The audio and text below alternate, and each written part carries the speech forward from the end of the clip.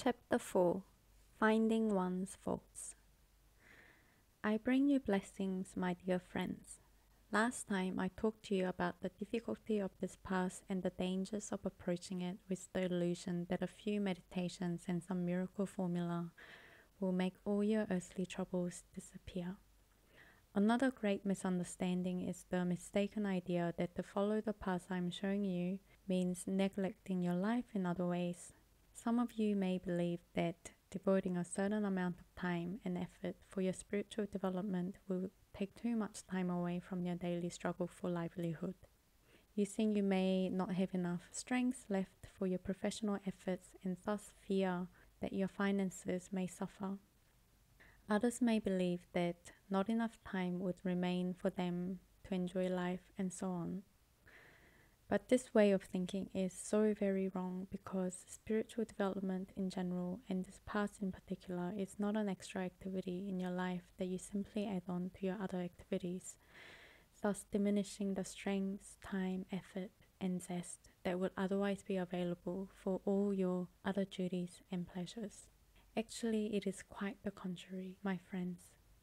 The truth is that this path of purification represents the foundation of your life. It is the ground you walk on. When you decide to take it, you simply shift the tracks of your life into different channels. After a while, even though your main problems will not disappear from one day to the next, this has the effect of awakening in you a new life spark that furnishes you with a heretofore unfamiliar strength acumen, vitality, and ability to enjoy life as you have never done before. Thus, you will do better work in your profession, you will get more benefit from your time of leisure, you will get more pleasure out of life, whatever you may do, whereas now life is still more or less flat for most of you. These are the results I can promise if you work spiritually in the way I'm showing you.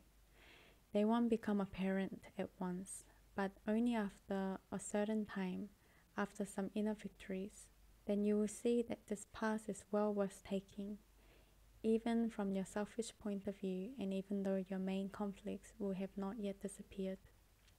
This is so because on this path you will eventually find out where your deeper feelings, reactions, and thoughts, if not in your deeds, you have broken many a spiritual law. This realization will enable you to gradually change your inner currents and emotional reactions, and this will automatically free a strength and life force that was previously locked or blocked. So, I do not promise you a miracle that will be given to you as a reward from heaven, but show you plainly and logically that this path cannot help work out because it is based on the law of cause and effect, which works quite naturally and impersonally. So I ask you not to consider the decision to take this path as some additional activity in your life, such as taking up some new kind of lessons that might rob you of time and effort you could give to other necessary or desirable things. Consider rather this path as the foundation of your life. It will make it into a well integrated whole. For if you can solve your inner problems and errors, you must eventually also solve your outer problems. By the same token, you'll get so much more out of all the good things in life happiness, joy, pleasure. If your soul becomes healthy again, if your inner reactions can conform to spiritual law, only then will you be capable of happiness. For how many people are capable of happiness? Very few, my friends.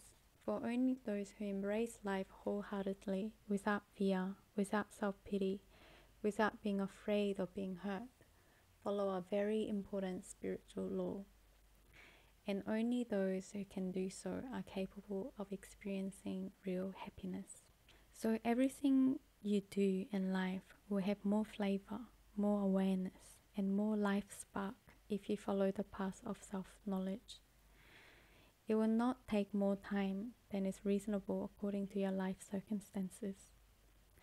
All of you, without exception, are capable with little willpower and determination and proper organization of your everyday life to spend on average half an hour a day on your spiritual development. You spend time on your physical body, feed it, rest it, and cleanse it. you certainly do not feel that this takes something away from your other duties or pleasures. You take it for granted, and this is a necessary, self evident part of your life. Yet, when the question arises whether to do the same for your soul, then fears, doubt, and questions bar your way. But they cannot do so if you take the trouble to think reasonably about this matter of spiritual development, my friends. However, you're not thinking reasonably about it because you do not evaluate these doubts as to their proper merit. You have them because you are inspired by your own lower self. As long as you do not recognize how this lower self works, how it manifests, and in what devious ways it hides behind handy excuses, you will not be able to master it. Not only those traits which are commonly called faults are a hindrance for you, and thus directly or indirectly harm others, but also your fears, which are not generally considered to be faults. You do not realize that your fears cause great harm, not only in your own life, but also in the lives of others. Your fears also hide your light of love, understanding, and truth. So, being on this path is not only a matter of overcoming your character weaknesses, overcoming your own fear is of equal importance for as long as there is fear in your heart, you harm other people. I have promised to show you how you should go about actually starting on this path. There are many ways, and each individual reacts to them differently. But I will give you certain basic guidelines to go by as you make your own plan. You all know that to gain self knowledge is of imperative importance. Now, how can this be done? The first step will be to think as objectively as you possibly can about yourself, about all your good qualities and all your faults. Write down a list, as I have often advised, because writing helps you to concentrate on and condense what you have found out so far. This will prevent your losing your hold on this knowledge. The words in black and white can shed a new light of understanding and promote a tiny little bit of detachment in your consideration of yourself. Later on, when you have gained further knowledge about yourself and about your conscious subconscious trends, you'll be able to connect certain pieces of your first found knowledge, provided they are clearly and concisely expressed. The law of brotherhood. After you have done this conscientiously, the next step would be to ask someone else someone who knows you very well to tell you what he or she honestly thinks about you. I know that it takes a little courage to do that. Consider this your first effort to overcome a little bit of your pride. By doing so, you have attained some victory that will already free you of one little inner chain. It is very important not to do this work completely alone. To really open your heart to another person brings a spiritual help that you could not receive by yourself. It is due to the law of brotherhood. For people who are always alone, no matter how hard they work, no matter how intelligently they read or study, no matter how much self honesty they try to have, become locked in a certain vacuum that bars a complete understanding and evaluation of the self an understanding which automatically flows into them if they can open themselves to another soul. By remaining all alone, you violate the law of brotherhood in some subtle way. Not isolating yourself requires a certain amount of humility, which does not come easily at the very beginning, but after some time, it will become second nature. Soon you'll be able to talk openly about your difficulties, your weaknesses, and your problems and receive criticism. The latter, of course, is equally healthy for your soul. Each one of you who has already tried opening up will confirm that merely discussing a problem you have kept to yourself will cause it to lose its exaggerated proportions and some of its fearful aspects. Being yourself as you really are with at least one person with a minimum of masks and defenses is a very healthy medicine. At the same time, you offer an act of love to the other person whom you help more by showing your own human weaknesses than by trying to appear superior. Your partner will do the same for you. So try to organize this with a friend. You will see after a while how helpful and fruitful this will be. It will give you food for thought. You will help each other and you will learn a lot in brotherhood, in humility, and in detached understanding. I would advise you to ask those who know you really well. No matter what they believe, they will respect you for your sincere endeavor to improve, to learn about your faults, and for listening to them. You can ask them in, in the right way, explaining to them that four eyes often see more than two, and that you want to improve and will not be hurt or angry with them, even if they say something that may seem unjust to you. And when you're friends or family, do tell your faults. Think about them calmly. Someone may say something that at first will seem entirely unjust and hurtful to you. You may also, for that matter, be even more hurt if a truth is told to you, even if you have the sincere conviction that the criticism is an injustice. Try to evaluate it nonetheless. There may be only one grain of truth in it.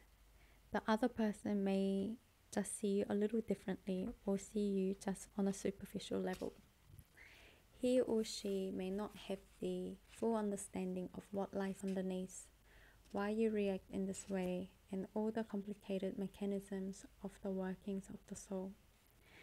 He or she may not choose the right words, but the one grain of truth in what is said may open a new door of understanding for you.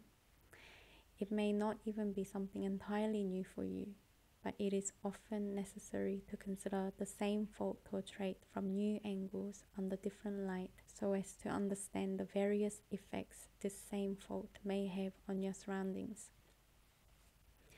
If you take all the faults you are beginning to recognize more and more clearly into your daily meditation, and if your wish is truly sincere, you have made the best beginning imaginable. Train yourself to observe your inner reactions when you deal with the unpleasant within you. This is of utmost importance. I have begun this lecture by saying that the lower self constantly resists your endeavors. Here you have a wonderful opportunity to observe your undisguised lower self as it works and reacts. Watch it as you would a third person. Be a little less involved in it. Put a little distance between your powers of self observation and the reaction of your lower self, your ego, your hurt, your vanity that becomes involved when you are dealing with the unpleasant side of your personality. By thus recognizing your own reactions and understanding them, perhaps humoring them a little and not taking yourself so deadly seriously in this respect, you will gain another step up on the ladder. But I admonish you not to expect this awareness to happen from day one to the next. It means constant work, and after some time of regular work each day, even for only half an hour, you will make progress. You will come to the point when you feel quite clearly the distance between the real you and your little hurt ego, and you can humor it a little bit without being so very much in it. Once you have accomplished this, the door will open for further self understanding. So begin by making your own inventory of faults. After you have done your best in this respect and have also asked someone who knows you very well about your faults, compare their observations with your own findings. These efforts are a wonderful beginning for everyone. They will not be in vain, I promise you. If every day you do some self observation work and meditate on some of the pertinent words I'm giving here, you will certainly be successful long before actual results can manifest in your life. A feeling of deep contentment and peace will come to you often. The three main faults. Now, I will mention three main faults in the human character. These are three main faults from which stem directly or indirectly all your various individual shortcomings as self will, pride, and fear. This is very important for you to realize. You may not think fear a fault, but I'm telling you that it is. A faultless person would be unafraid. You all know that the opposite of fear is love, but this knowledge is itself will not be sufficient for you to understand why fear is a fault. First, you should understand that these three main faults are connected with one another. It would hardly be possible for you to have one or two of these faults without the third. But what may be possible is that out of the three, one or two may be unconscious, while the third is quite strongly apparent even to yourself. Thus, it is very important to write your daily review and to check your reactions to all you have felt during the day in response to often seemingly unimportant incidents. If you try to formulate concisely an unpleasant inner reaction of yours, you will always come to the conclusion that most of the time there is an element of fear involved in it. Fear that perhaps other people do not do what you wish or do not react according to your liking. In other words, if there is a strong self will, the fear is there automatically that the self will will not be gratified and that your pride may be hurt. If you had no pride, you would not have to fear that it could be hurt. If you had no self will, you will not have to fear that it would not be gratified. If you begin to check your various impressions of the day and your reactions, you can see where the element of fear comes in and whether it is connected to self will and pride and to what extent.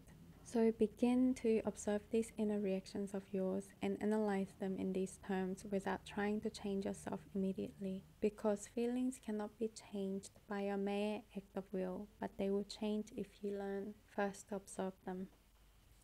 Daily Review The practice of the daily review is a powerful tool.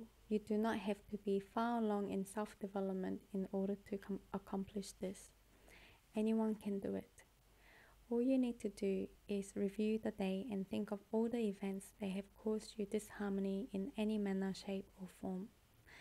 Even if at the beginning you cannot understand why, just put down the incident and what you felt. When you have done this for a while, a pattern will evolve.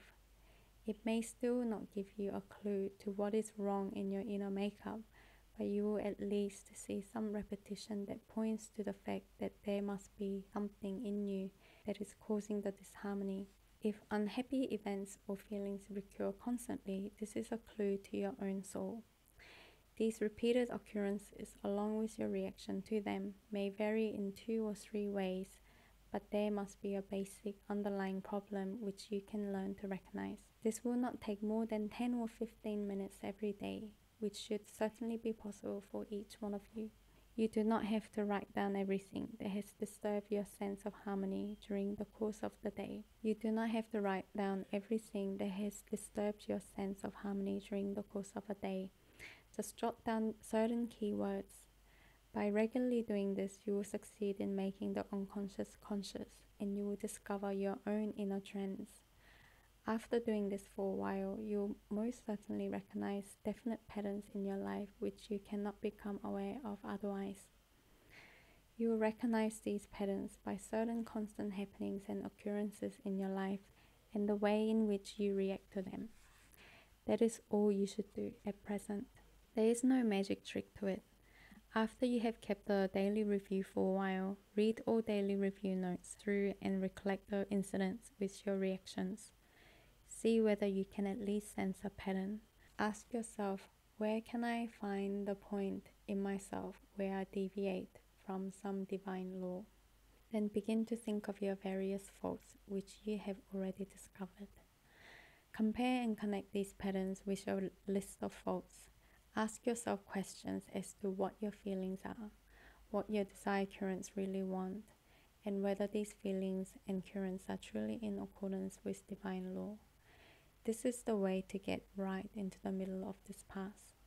Without this help, it would be extremely difficult, perhaps impossible, to gain the self knowledge which is the essence and the key to this path, and without which you cannot reach divinity within yourself.